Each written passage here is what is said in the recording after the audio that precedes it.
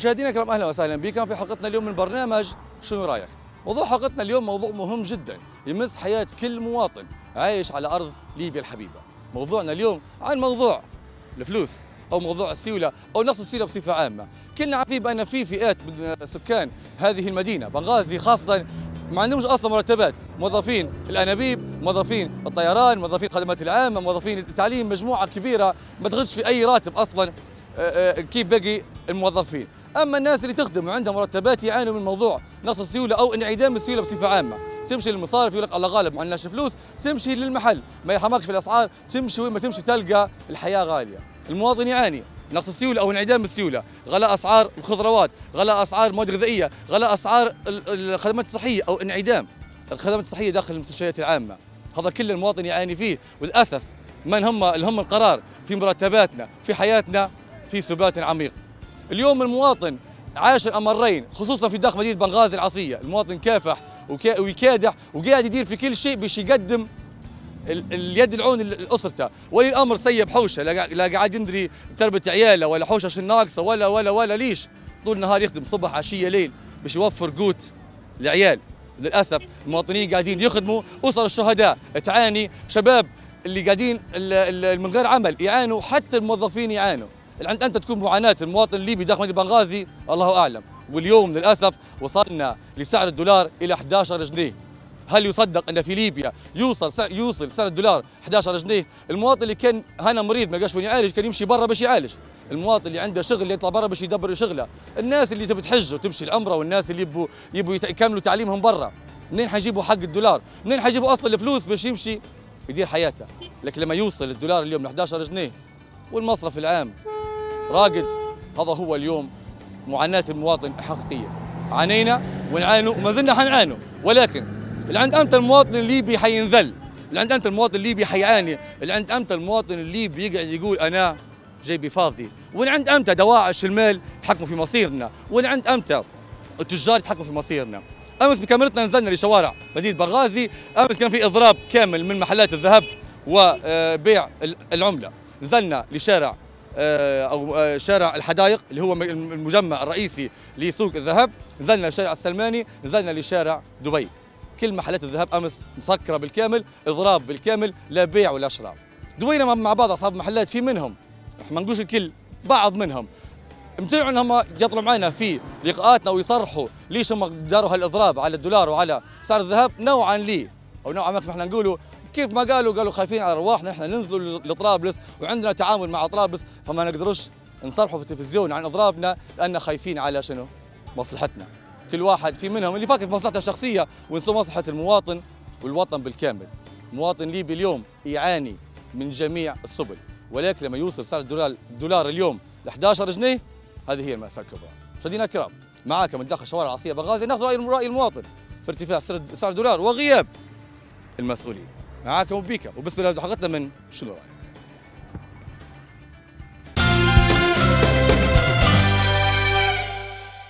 والله آه، شيء. شيء شيء نتاسفوا له كلنا يعني أنا مش متصور إنه يوصل ل 11 جنيه وحيزيد أخرى.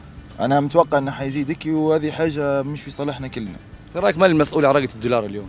والله المسؤول على رقية الدولار من من من متوقع أنت من اللي مش مسؤول على رقية الدولار كلهم. أبداها من من من الناس ال- التجار. ابتداء من التجار وعدي. كلها هيك كلها تاخذ في في في الموضوع هذا بعين الاعتبار. يعني أنت مثلا خاش ال- المحلات تبي تاخذ أي شيء بيرمي لك على الدولار حتى الرابش اللي هو الرابش يرموا لك تو على الدولار فهذه حاجة ما ما تقدرش توصفها أنت شور من الدولار ما عادش تعرف أنت أصلا من من أصلا سبب الموضوع الدولار هذا. نبي رأيك اليوم في ارتفاع سعر الدولار وصل 11 جنيه ومعاناة المواطن في هالموضوع؟ والله طبعا هي هذه حرب وضغط علي بنغازي بس مهما رقى الدولار ومهما رقى الأسعار حنقدروا عايشين بيهم ولا بلا حتقعد بنغازي هي بنغازي. مستحيل حد يكسرها سواء سياسة سواء تجار أي جهة كانت. مش حنركعوا لحد ثقوا وتاكدوا مهما يرقى الدولار حنرقوا نحن وحنكافحوهم وحنقعدوا. إن شاء الله يوصل ال 100 جنيه. بس ما مش في صالحكم. حيجي يوم وحنطلعوا عليه الشيء هذا وأي تاجر رقى دولار والله ما ولد بنغازي. بين المواطن رقد الريح؟ المواطن اللي هو قاعد يعاني بات الأسرة شنو يدير في هالفترة هذه؟ يدي الله فيهم حسبي الله ونعم الوكيل بس. ولو إن إحنا عندنا دولة وقائمة على أسس صحيحة ما كانش نوصل لهالمواصيل. صدق والله والدولار هذا كله كله كله كله بيجوع الشعب الليبي وبركعوا جماعة بنغازي. أهل بنغازي بصفة عامة أهل العصية. يبوا يركعوها بحيث إنها ترضخ للشروط اللي هم يبوها. وهيهات هيهات ثم هيهات. وإن شاء الله خير بعون الله. والله رايي انه موضوع تعبان بكر والله قعدنا حتى اللي نشرب فيها نبيعوا فيها نفس السعر باش الناس ترضى. الناس تعيط قاعدة من الموضوع هذا بكر المناسبات في الدنيا هني قالوا الأسعار فرق. يعني مش كيف قبل. حتى بعد نشرب بضاعة تجي غالية. بتجيب بضاعة تبي تجيب هني بسعر هني ما تقدرش. يعني أنت أنت مصاريفنا حتى نحن بروحنا مصاريف العمال اللي معنا الاجانب حلوا كلهم. ما عادش حد يخدم حتى الليبيين هو قالوا قطاع خاص يعاني. أنت صاحب صاحب قطاع خاص وتعاني قطاع خاص يعني ما لا عمال لا بضاعة لا شيء يعني قعدنا هكي عدرنا لهم شيكات مصدقة. قعدنا نكبروا فين؟ يعني معنا شيكات ما ينفعناش. نحن وقتك وقتك اللي يخدم بفلوسه سواء سواق سواء كذا سواء واحد يزيد. ويقول لك أنا حتى مصاريف ما تساعدش. حتى اللي معطيه راتب يقول لك ماشي يساعد يعني أنت وين؟ 11 ونص. في رأيك أنت تو حاليا كصاحب قطاع خاص وأنت كمواطن ليبي؟ رقة هالدولار اليوم يعني يعني ما بين ثلاث أيام أو أربع أيام من من سبعة ل 8 ل 9 10 يوم 11 أنت كيف شنو في عق- يعني عقلك لما أنت تقمص بينك وبين نفسك شنو تقول؟ عقلينا قعدنا حتى نخافوا حتى خدمة ماش قعدنا نخدمه وحتى حاجتنا اللي عندنا قعدنا نخاف عليها من السراقة ومن الناس اللي تبي تب- سؤالك لما لما تسأل روحك قدام قدام المراية تقول يا يا يا عبدلي شنو رقاه الدولار هيك؟ سألت روحك السؤال سألت إن حاجة غريبة يعني. لقيت إجابة لروحك ما لقيتش ما فيش لا ممكن نقولوا من الحرب ممكن يعني كل واحد يقول في حاجة.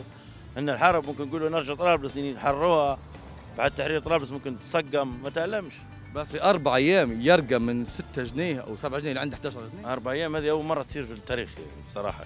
يعني المواطن الليبي الكادح العادي تو أنت مواطن وفي مواطن راقد لي حتى راتب ما ياخذش.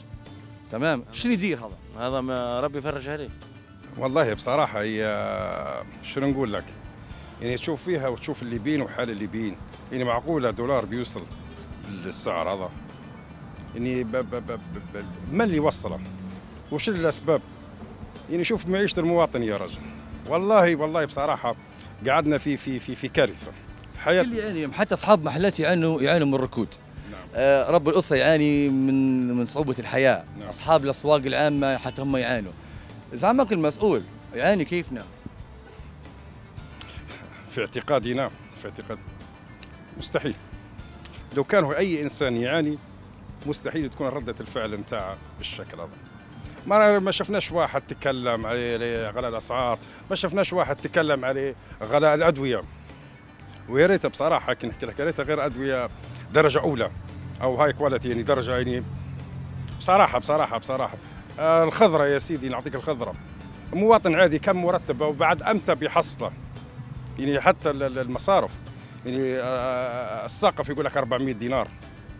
يعني 400 دينار بناخذ بهن خضرة ولا بناخذ بهن آه، لوازم ال- ال- ال- ال- المنزل. ولا وال- بعيد ان ولا- الصحه ولا لا لا لا بصراحة المرض يا ولد عمي ويا يا يا ما تحكيش عليه. بصراحة المرض تحكي والله بصدق وأمانة. يعني نحن قعدنا في مأساة في مأساة مأساة. ويا ريت ويا ريت الكلام هذا يوصل. وحتى كان وصل لي يا ريت في حل. والله المستعان يا ولد عمي.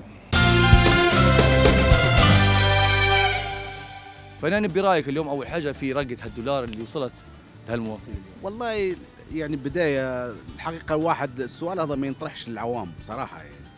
الناس نحن عندنا جامعات وعندنا ناس اقتصادية وهم عندهم إلمام كبير باقتصاد الدولة واقتصاد البلاد و... وعندهم لجان أزمات قاعدة تخدم لهم سنتين ولا ثلاث سنين ولا أربع سنين. وعارفين الاقتصاد الليبي كيف ماشي. اقتصاد ريعي ماشي على بيع النفط بيع نفط من هنا نزل دولار.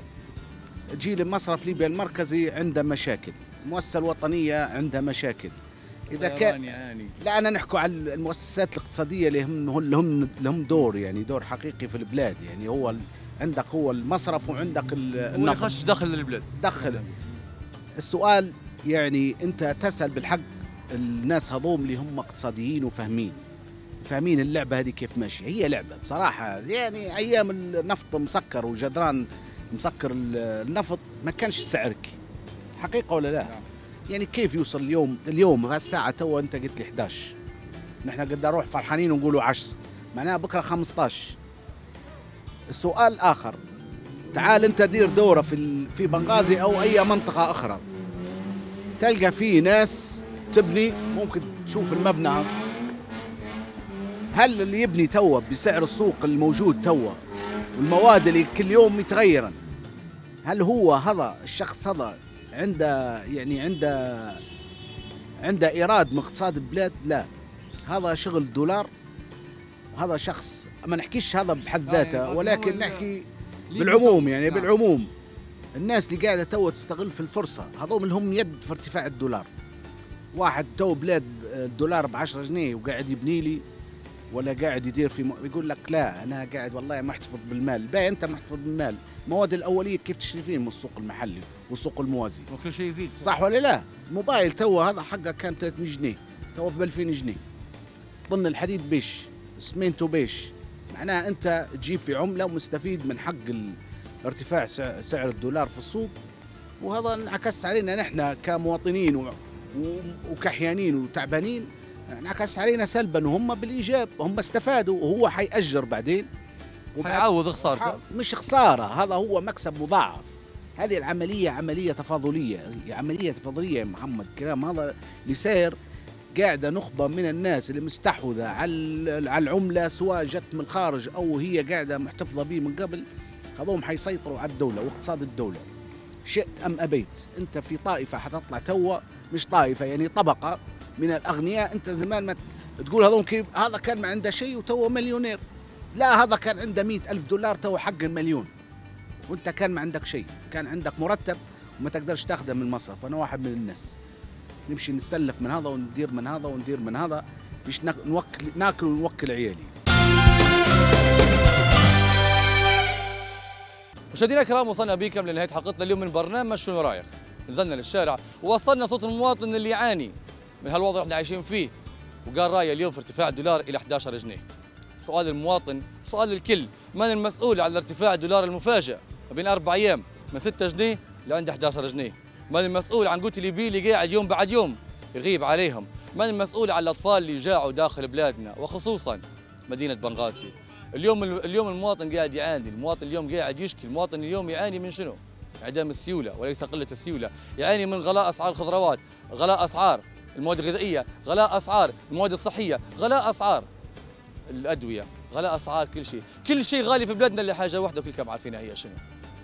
اليوم السؤال نقوله من يلطف بحال المواطن؟